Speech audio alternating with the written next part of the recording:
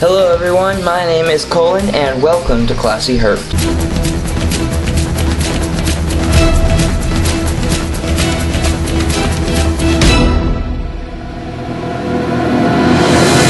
Alright, so I asked you last week if you like the more strict videos for information or you like the more laid back videos like this one. Last week's video has been.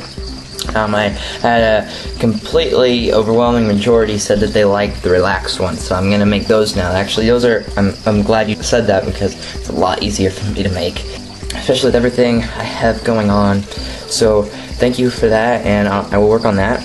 Also, another thing I need to say is you can see pretty much all I'm doing is walking around with a video camera and pointing out stuff, and that's honestly to me, I find that kind of boring. But if you guys like that stuff, that's cool. Um, if, remember, if there's anything you want to see, you want to see how I do it, if you want to see a specific animal more, you want to anything you want to see, just leave a comment or message me, and I will make that video. Believe me, because I'm out of ideas. So there we go.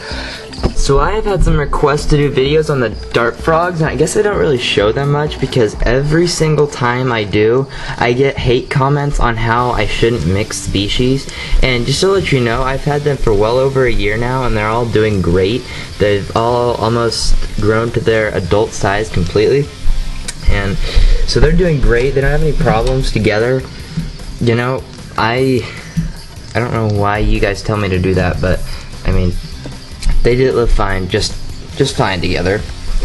But some of you guys wanted to see them, so there's some of the Azureus. There, another one. It's the green one, Auratus down there.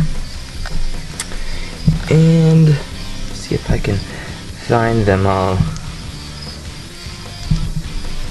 Down there is the yellow and blue one. I can't think of their name right off the top of my head. But yeah, just feeding them some fruit flies. So with my scorpions, I've had some problems with them, major problems. I've showed you them. I haven't really had them for that long, but I guess scorpions were just not the thing for me because all four of them died.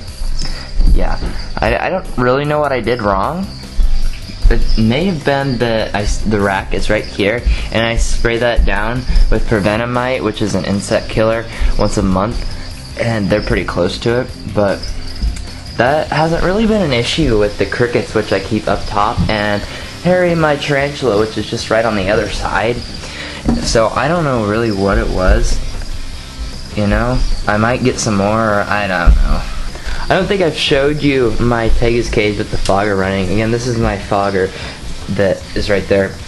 Homemade, just the tube. I have a video showing how to make this. It runs for about 15 minutes every hour or so, and it completely fills this thing up with fog. And I'll show you. Uh, it's the same cage I've been showing you guys, getting ready for my Tegu. Just kind of blowing it, air out. Yeah, same cage. It just gets everything really wet. It looks awesome, huh? Looks like a rainforest. That was the goal. So, you can see the moisture on the rocks there. It really works. So here's something I'm really excited about. This is my pinstripe Carmen. She is growing so much. I'm gonna let you guys see how much she weighs here. Almost 1100 grams. So she is about 120 grams away from what I consider breeding size, just 1200 grams. And that's about one meal away pretty much for her. So I'm obviously not going to breed her right when she hits that because breeding season is, I kind of missed it. But she's not even a year old yet. So that kind of tells you how I how I do raising my snakes.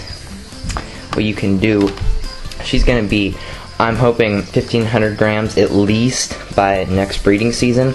So that is what I am definitely looking forward to with her. And there's a few others that are closely following her. But you see she's getting pretty long too. And remember, she's she's not even a not even a year old yet. All the way to the back of her tub. She's longer than her tub.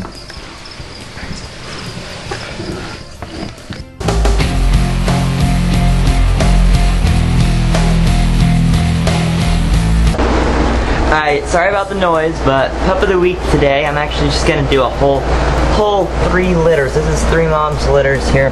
Not that big litters, but I like a lot of the babies. Um, two of the moms were Rex, like that's a Rex. That black one there is a Rex, that's just a normal hooded wild type, I guess. Yeah, so there are your pups of the week. They're all really cute, you know. Just look at that little face. Look at that little face.